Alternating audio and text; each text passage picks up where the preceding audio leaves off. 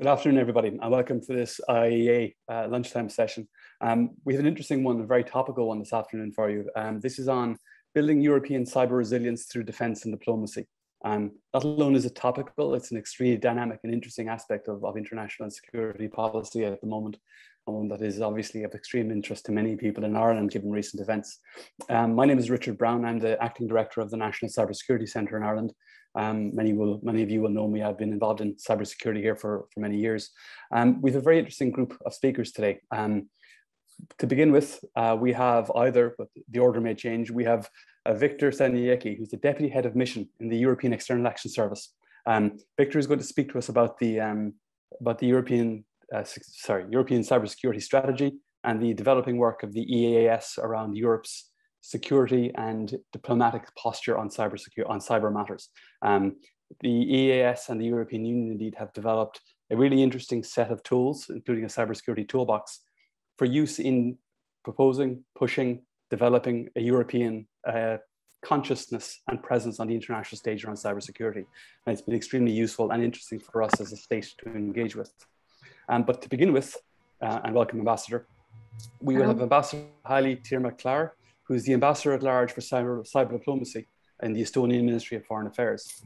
And Heli has been centrally involved in, in Estonia building its presence and indeed the European presence uh, at the UN Security Council and other levels across the European Union in pushing and developing um, for a much more expansive, broader, and deeper consideration of cybersecurity as a global security and geopolitical question.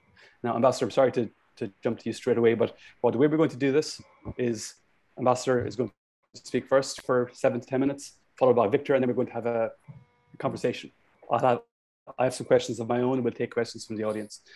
Obviously, and I'm sure everybody will be aware, both the initial address and the Q&A session are going to be recorded and on the record unless otherwise stated. Um, anybody who has a question, please feel free to submit it via the, the Q&A function on Zoom. Um, when you're doing so, please identify yourself and your affiliation when you're asking a question. Um, and of course, if anybody wants to engage with the conversation on social media, please feel free to tweet using the handle at IIEA as ever. Um, and let's go. Ambassador, please. Yes, hello. Um, thank you, Richard. Uh, hello, Victor. And um, and hello, everyone uh, in the call uh, whom we cannot see. So I see 44 participants. So um, I'll, I'll, speak a bit uh, why uh, Estonia has been raising cyber uh, issue in all international organizations and uh, uh, and what it actually now um, looks like uh, in terms of um, international awareness and also then I'll talk about European um, um cyber policies and um, as they have evolved and, and what challenges we will face in the future. Um, yes, Estonia certainly was one of the first countries to start raising the cyber issues uh, in different international organizations. I think the first for us was uh, NATO. Uh, uh NATO came up with its first cyber defense policy as early as 2008, uh, with a sub, sub, subsequent policy in 2011, 2014, and now in 2021, it's uh, it's the latest NATO policy in, in force then um, the second organization that uh, was quite uh, quickly taking up cyber issues was uh, uh OSCE. Uh, already as early as 2009, the OSCE had uh, put together the um, working group on cyber issues that started to discuss the regional confidence building measures. And it was also related with the United Nations group of governmental experts, which then convened and, and had its first report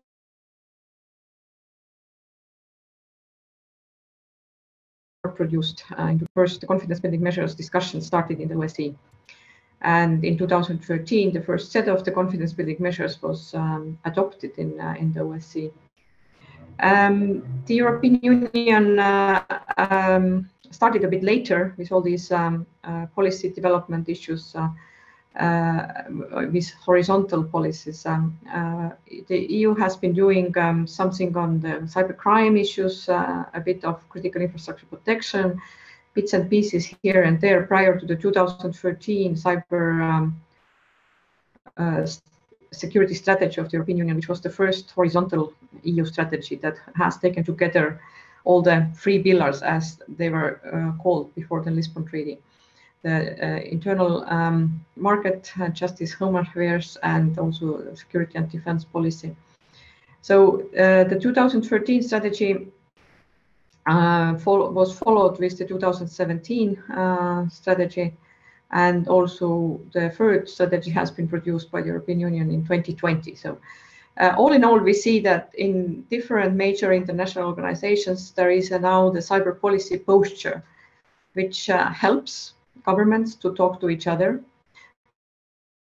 which also um, um, cyber normative framework or international law applying in cyberspace, or it helps with the regional integration, like in the case of, of the European Union, or it helps with uh, the preparations for um, cyber defense as, as NATO has been um, doing so. Uh, I think um, all the different elements of our global cyber normative framework are now in place. So we have the UN agreement that uh, um, international law applies in cyberspace, that we all should uh, implement the norms of responsible state behavior. Uh, we have different uh, regional organizations um, uh, now having the confidence building measures, and, and we have to implement the confidence building measures and have to follow those confidence building measures.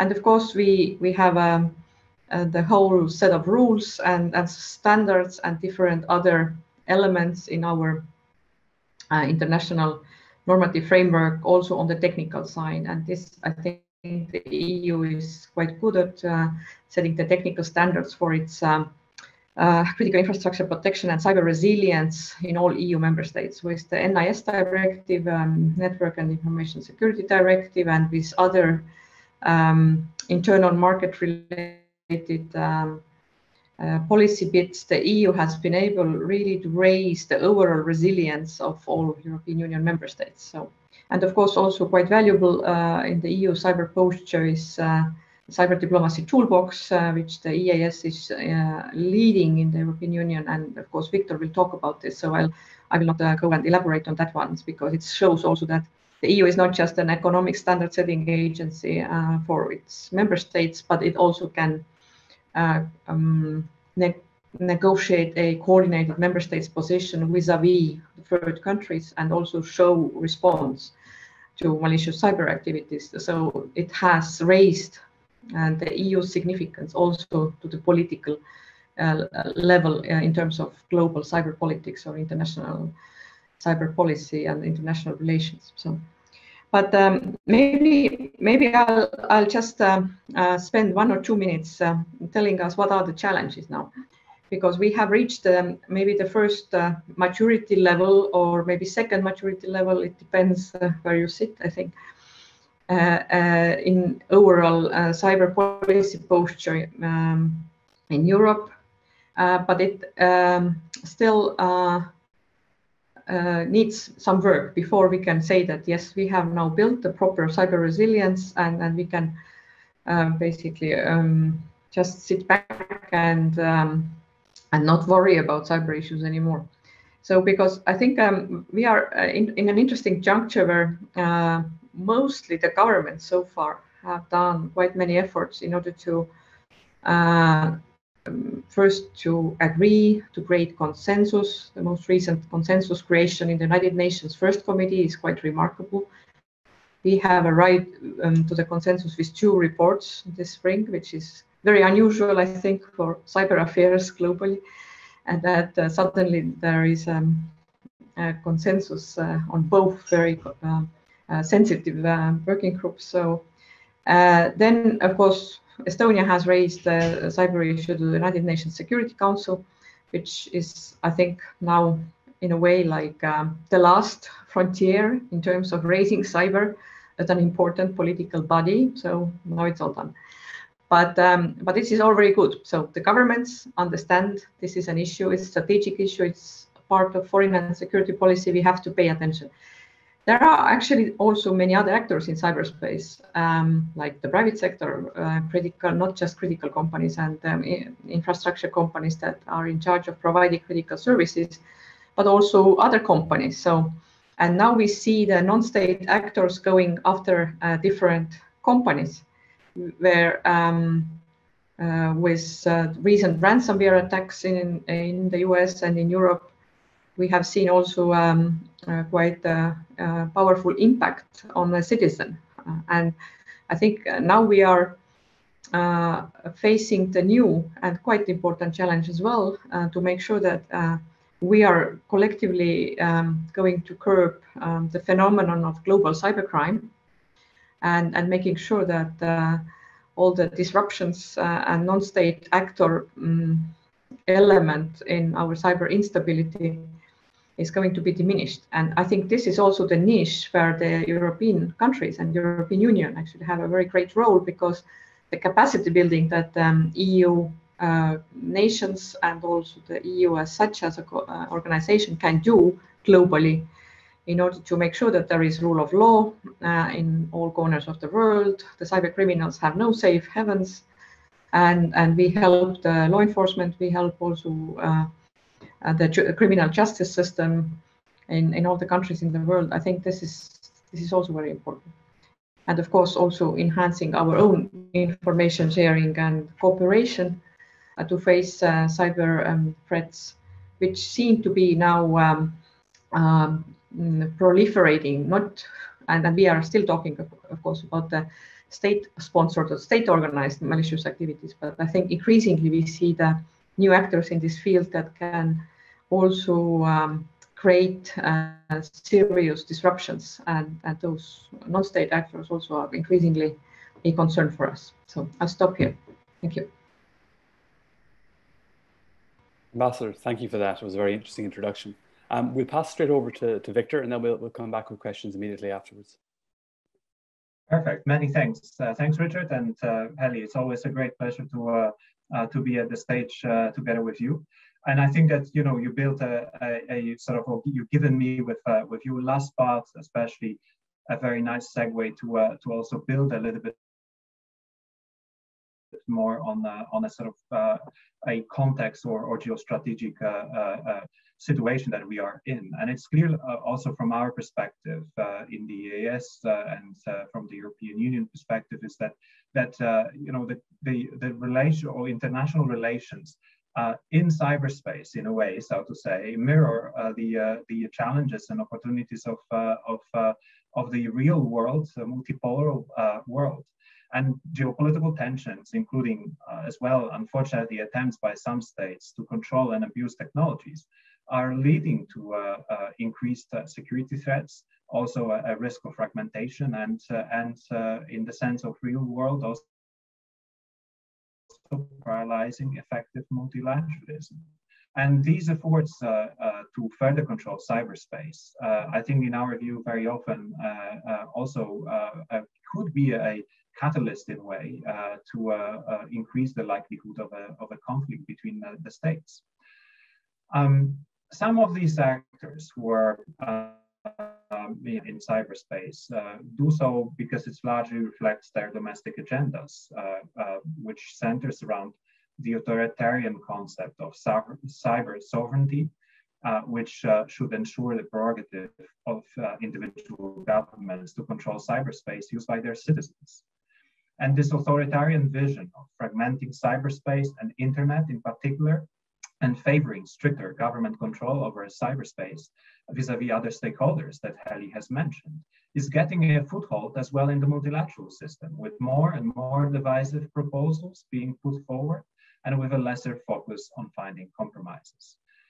Um, the more prominent examples to shift uh, of the shift uh, to shift the trajectory of the global open, free, stable, and secure cyberspace are the push to launch legally binding instruments on both international security and cybercrime, to push restrictive standards, replace internet infrastructure, and also bring this infrastructure under the uh, uh multilateral auspices. And these efforts oppose our EU vision of cyberspace, which is governed by multi-stakeholder model and respectful, uh, respectful of human rights and fundamental freedoms, supporting economic growth and ensuring international stability and security in cyberspace. As well, Heli mentioned that uh, the cyberspace, we see uh, that it's increasingly misused to conduct malicious cyber activities, uh, be it by state or non-state actors for various uh, uh, uh, reasons for political, financial, or economic gains in case of uh, um, cyber espionage. And some states are as well, unfortunately, not abiding by normative framework that has been agreed in the United Nations that Heli mentioned, uh, which is the basis of recognition of applicability of international law and as well existence of, uh, of uh, norms for responsible state behavior. As well, misuse of technologies for malicious purposes is, you know, our view, unacceptable and also uh, undermines international stability and security in cyberspace. And at the end of the day, creating really a lose-lose situation, whereas I think we are really working towards the win-win situations. Heli mentioned on uh, uh, several occasions how we as the European Union approach this. Since 2013, we have strengthened our cyber diplomacy policies through uh, engagement both at the UN level as well as through uh, EU cyber diplomacy toolbox uh, established in 2017 and uh, uh, our bilateral and regional engagements, notably, and Heli mentioned that as well, on cyber capacity building. And through cyber diplomacy efforts, uh, the EU and our member states actively contribute to the rules-based uh, order online and offline. With, um, let me turn now into uh, uh very briefly into 2020 EU cybersecurity strategy, which has been the, the latest policy that and we have through that provided a new impetus uh, to our cyber policies, both on the cyber diplomacy part, but also on the cyber defense and, uh, and on the internal uh, uh, uh resilience elements, addressing different, uh, you know, and I think that it should allow us to increase resilience of, uh, uh, of the European Union and our member states, show leadership in favor of a global and open cyberspace. And let me here on that uh, element, Heli mentioned as mentioned uh, already, work also in United Nations work. A, a, proposal that is a part of the 2020 EU cybersecurity strategy to establish a program of action to advance responsible state behavior, strengthening uh, and as well elements of strengthening the cyber diplomacy toolbox and our capacity building efforts and partnerships, which will directly contribute to international security and stability in cyberspace. I think I will maybe stop here, Richard, in order to save uh, us more time for interactive uh, uh, uh Q&As and also Q&As with, uh, with, uh, with the audience, but I'll be very happy to develop further a little bit on the cyber diplomacy toolbox elements and anything else you might want to um, ask for. Victor, thank you very much. Um, so first of all, let's keep the questions coming in. We have some already, but but I, I have a few to, to begin with. and I think I might take Victor up on his offer of some extrapolation on the effectiveness of the cyber diplomacy toolbox. But I'll start with, with you, Ambassador, if you don't mind. Um, one of, and Victor made reference to this as well. Um, the idea of, of norms as a or creating or developing a global picture of norms for as a means of constraining state behavior um, and responsible state behavior cyber space is something that is very heavily embedded in global cybersecurity thinking. Um, but you could be forgiven for, for thinking at this point in the process that there are some real limitations to that methodology. Would you agree with that statement? Uh, um, if, I think you are alluding to the question whether we need a binding treaty versus the non-binding politically uh, agreed norms. Well, let me do this uh, awareness raising bit why we cannot have cyber warfare treaty. So at this stage, we cannot uh, uh, go on with any of the binding elements because we are talking about the dual use domain here. So if, if it was nuclear weapons, it would be easy to count all the weapons because we know which countries are uh, enriching uranium and we certainly have an understanding which countries are developing nuclear weapons. So um, uh, uh, if there were um, conventional weapons, we could certainly count also tanks and artillery and soldiers. In cyberspace, which is very dual use domain, we even if we had uh, something binding and um, I think it's it's um, yeah uh, an element that um, many people who are not familiar with cyber issues are usually asking as a first question um, why we don't have a treaty. Uh, we cannot have a treaty, so that's a short answer because uh, uh if we had a treaty, uh, we would be fooling ourselves that this would be effective because we cannot verify it at this stage. Um, How can we you. verify the treaty? If we are going to uh, verify, then we have to be able to um, access all the laptops in the world and to see whether somebody has built cyber weapon with their uh, laptop. So and and this is this is one of the uh, just the, uh, maybe the elements in cyber that um, is not comparable with conventional um, uh, uh, disarmament. So the usual disarmament approach is not working in cyber. Uh, what works in cyber is the um, uh, regulation of behavior. Uh, so because we cannot regulate arms, but we can regulate the behavior. And, and that's why we talk about the norms and uh, implementing the norms and, and also making sure that we uh, enforce the norms because if, if, if the norms are not enforced, so what's the use of, of the norms? And we know that many countries that have agreed to those 11 norms in 2015 already have broken those norms many times after the agreement on the norms. So it's true. But some countries also have not followed the binding international law. If you know there have been bombings of um, hospitals in Syria, it, which is clearly strongly against any um, uh, principle of the current international humanitarian law. So therefore, um, instead of uh, maybe the discussion whether we need a binding uh, treaty or whether we can go on with the norms, we have to think of um, the uh, ways how we can uh, implement already uh, agreed and existing international law in cyberspace. And this is something what Estonia has been trying to do. Um, the, the Tallinn Center here, the NATO Center, has um, put together um, few editions of uh, uh, academic analysis, what is called Tallinn Manual. The first manual was talking about um, implementation of um, international law above the threshold of armed conflict, or IHL, or um, law of armed conflict.